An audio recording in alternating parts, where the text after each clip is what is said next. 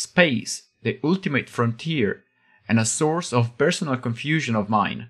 Hi, my name is Amedeo Beretta and in this video I'm going to explain you the very basics of how space works in a 3D software and why understanding it will not only speed up your animation workflow but also improve the quality of your professional life. This video will be the base for the next one in which I will explain a technique that is often referred to in the jargon as space switching. I believe understanding 3D space gives animators a much greater deal of confidence while animating. And when I look back at the time when I first started animating professionally, I actually find it quite embarrassing how little did I know about 3D space and how many days of fruitless work this ignorance has cost me. The bottom line here is that understanding and taking advantage of the features of 3D space allows you to easily keep control over less than trivial animation.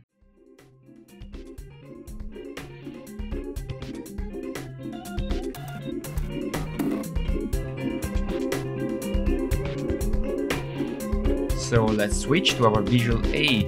Now that carries unwanted parcels paid for by someone who didn't need them and delivered to someone who doesn't want them, the drone. Now this vehicle is at the center of the grid and in fact if you check the translate values they are 0, 0, 0. When the vehicle moves forward, then the value changes on the translate Z and increases in value. The moment the plane lifts up vertically, that's when you see the translate Y increasing as well, because the plane is flying parallel to the Y axis. To make it clearer, you can imagine that the yellow sphere is the center of the grid, and whenever the plane moves around, there is an axis that extends in one direction. If the plane moves up, the axis extends up, and if the plane moves to the side, then the axis extends to the side and when you grab the controller you will find the respective values in the channel box. These values are in normal conditions relative to the grid. However, let's imagine for a second that the plane itself was a child to the yellow sphere and that yellow sphere is the origin. As I move the origin around you see that the position of the plane changes in space and if I rotate the origin you see that the position of the plane adapts itself. However, when I select the plane controller you see that there is no no rotation whatsoever on the controller. And also, the values in the translate are not even changing. As the origin translates around, the child itself is not aware of any change, and in fact, the translate values don't change because the plane, the child of this hierarchy, uses its parent as a point of reference, as you do normally so that this sphere you're seeing represents the group containing the plane. And when the group moves around the plane doesn't really know it's being moved around because the plane being a child of the origin group as far as the plane is concerned if the two are aligned and they are the plane is at zero. The same way a kid would typically consider their family the origin of their life, the zero, the starting point. If a kid is at home and you ask them where they are, they will probably answer they are at home. They won't tell you the country they find them in. And the same goes for this plane. If you have any object into a group or under another object, the child will always move relative to the parent, whatever you do, to the point in which you can actually use this to your advantage. So, for instance, if we wanted the plane to perform a loop, the cheapest way would be to select the master control, move it down away from the origin, then grab the origin and rotate the origin with just two keys, we get the animation of the loop. This is very handy in a number of situations, and it's very roughly speaking the equivalent of the 3D pivot in Blender. Similarly, if you wanted your character to spin around this pole, you would have several choices, but with the default settings, you would have a master down there on the feet, so you would be essentially forced to move the master and every time counter rotate it. Or, if you were a bit more technically advanced, you could constrain the master to the pole. Another thing that you could certainly do would be to take advantage of the two master system that you find in many rigs snap the main master up to the pole, and then grab the secondary master and move it down by the same amount you move the main one up. This way, you created an additional pivot for your rig. In fact, you see, I now have exactly the same situation I had earlier on with the plane. Of course, you would want your primary master pivot to be right at the center of the pole, which would mean positioning the hands controller in a slightly different way in this case. Now, by grabbing the master that I moved up, I find myself exactly in the same position I was when I was doing the loop with the plane, with the only difference that instead of having the yellow sphere as the main parent of the hierarchy, I actually have the usual mega master there. And I can rotate the mega master any way I like it. And thanks to the way I understand hierarchies and 3D space, I can solve this animation with only two keys and everything else becomes immensely easier to the point in which if I wanted to delay, say, the left foot in here, I could just build a locator, this one, that moves exactly like the foot. I could constrain the foot to it so that whenever I move the locator, the foot moves. And then I could delay the animation of the locator by, say, three frames. And now you see that the foot is delayed if compared to the master. And this without having to do any fancy animation or if you are into animation, you can easily understand the potential of this technique. Of course, I would use automatic tools to do this thing. There is another interesting factor to consider, which is scale. Let's say that we move the plane around within its space. We move the origin group around, so now the plane thinks it's moved by a certain amount of units, from the yellow sphere, the origin, not from the origin of the grid. And that's because the plane is the child of the grid. Now, if you grab your reference space and you scale it, you're not only scaling the object within, but you see that you're also scaling the units. Now, your Cartesian diagram is stretched in one direction. And if you are stretching the coordinate system, you are also affecting rotations because objects will become longer the more they get parallel to the long axis. And that's why when you parent anything to anything else, you usually want to freeze at least the scale of the parent, unless of course you're doing something particular that you know about. So we have seen that if an object is contained into a group, when you zero out the translation and rotation of the object, the object will line up with the center of the group and not to the center of the grid. We have seen that if you grab a group containing an object and you scale it in a non-proportional way, you're going to stretch not only the object, but also the measurement system, which means that if you type the same amount of units on one axis and on another, you won't get the same amount of translation, you see, because one axis is scaled longer than another. Especially at the beginning when you operate a 3D software, I think it's important to understand the way space is managed within the software. And then I know of most 3D software manage space in a similar way. Let's say that in this scene there are two planes. On the left you have the one which is under its own personal origin, under a group which contains a yellow sphere as well. When you grab the main control this one on the left, as I said, its zero will always be aligned to the group. The plane on the right instead is free in space. You see, the master control is free in space. It moves in world space, we say. If I grab both controllers and zero them out, you will see that the plane which is under the yellow sphere group does not move at all because it's already aligned to its zero point. But the other plane, when it goes to zero, it goes down to the center of the grid. And that's because the master control of the plane which is free in space is in grid space. Its parent, it's the grid, while the one under the yellow sphere it's in the space of this group called the origin. And for as long as they are part of the same hierarchy, and you see they are, whenever we input zero in the master control, the plane will go back down to the center of its reference space, which is the sphere or the origin group. It doesn't really make a difference in this case. Things start to get interesting when you want to rotate these planes. I will grab for the plane on the left, just the master control, and for the plane on the right, I will grab the origin group, the one that contains the rig. I will rotate them both, and then I will want to animate the plane flying forward. They fly forward by the same amount at the same speed. However, a quick check at the graph editor will reveal that the plane which is under the origin group has a single curve controlling its forward motion, while the one that is free in space has two curves controlling its motion. And that is because the one on the left, according to its reference space, which is the grid, is moving on one axis when it moves side to side and on one axis when it moves forward.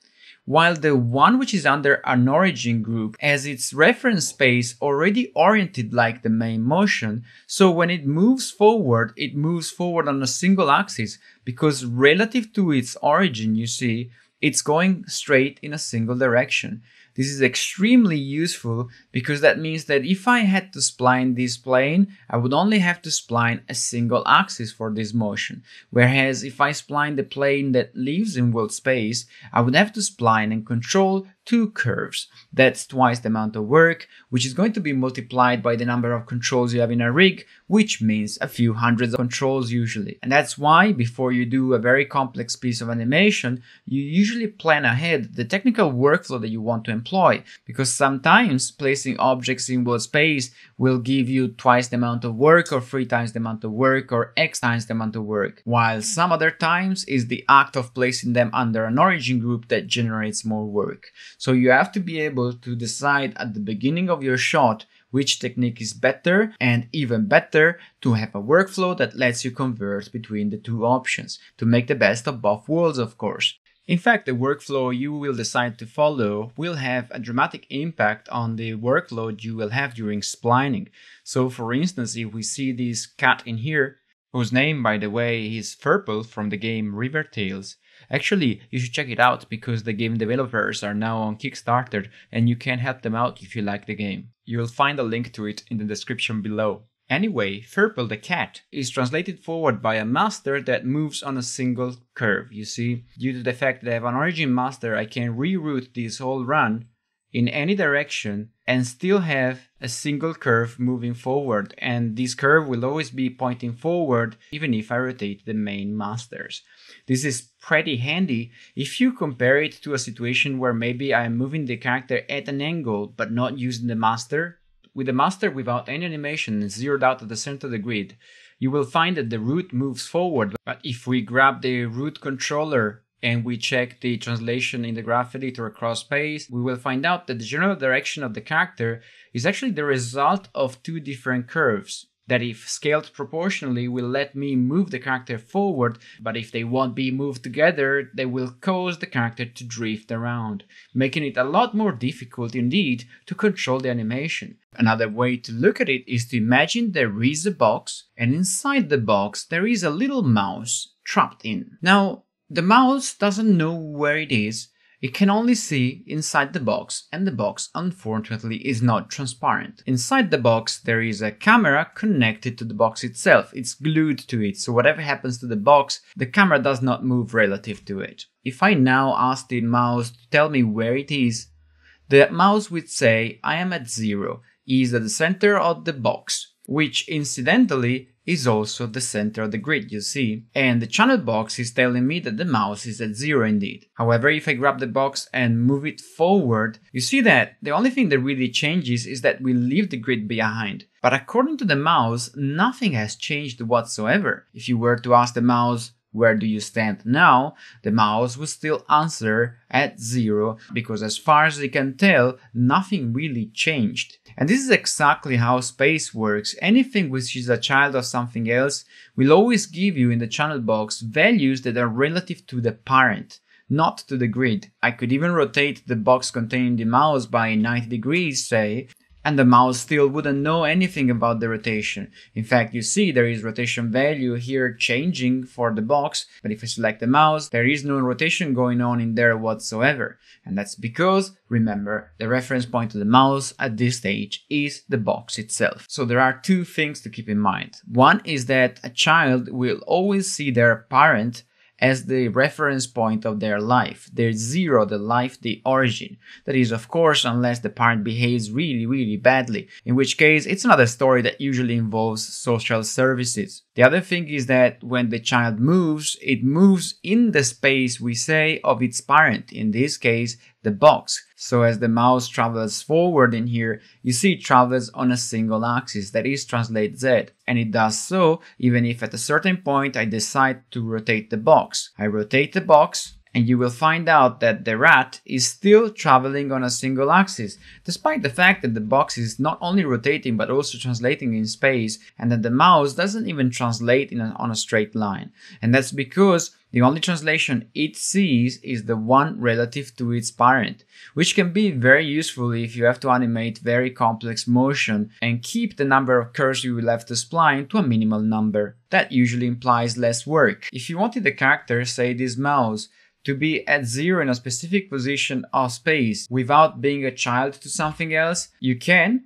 You just have to go under modify and freeze, translate and rotate. However, the problem with this is that now you lost the rotation axis, you see they're no longer aligned to the object. Also, you have no immediate way to go back to the center of the grid should you need to, because you're in a situation in which, in the jargon, you might hear people saying that you lost world space positioning or global coordinates. So it is usually a good idea to know what you're doing before freezing translation and rotation. Usually these channels are frozen while the character is at the center of the grid, for instance, before it being rigged. But every situation is different, this is not necessarily an issue, it's just a feature you have to be aware of. In fact, the very basics of rigging rely on this feature. If I were to parent the mouse back into the box, zero out the mouse rotation and translation, the two things would be perfectly aligned, you see? And if I move the box around, the channel box of the mouse would not move, they would still be at zero. I don't know if that reminds you anything, but it reminds me of a controller moving around a character, for which you know that when you open a rig in Maya, if you grab any control, usually by default and you zero them out, the character goes back to the T pose. That is because in most rigs, the controls are actually not out in world space, but they are part of a hierarchy. So for instance, in this case, I have the head control, which has these values. If I zero them out, the head control doesn't go down at the center of the grid because above the head control there is a group which is aligned to the control you see and by moving the group the control moves but you move the group and the control is always staying at zero as far as values are concerned. That's usually why when you grab a control of a character that is somewhere arbitrary in space, the control is still at zero. To go back to the mouse example, if I were to build a very basic rig for the mouse, I would build a group containing a control curve and then the geometry could be connected in various ways to this rig. In this case, I'm just going to constrain it to the control curve, which is not really ideal, but we're going to work with it. Now, the beauty of this thing is that if I wanted the T-pose of the mouse to be somewhere else, not in the center of the grid, I would grab the group and move it wherever I need the mouse to be, say there. And when the animator opens up this rig, they will find the control curve. The control curve is still at zero because the group that moves the control curve was moved. And this is why the controls that you normally find around are at zero. You can move the control around and if you want that to go back in that arbitrary place in space, you just need to zero it out because that arbitrary place in space is marked by the group itself, which is the parent of the control curve. So the curve will always go back to that place if it's zeroed out. And this is the very basic of rigging really. This is when you start to understand the way space and hierarchies interact in a traditional 3D software. And this is it for now. This is the basis upon which I will build the space switching video for next week. I hope you have found this useful and if that's the case, please consider leaving a comment, liking, subscribing and hitting the notification bell. And if you want to support the channel, I think that of course will let me do more videos, you can follow the link in the description below. Have fun!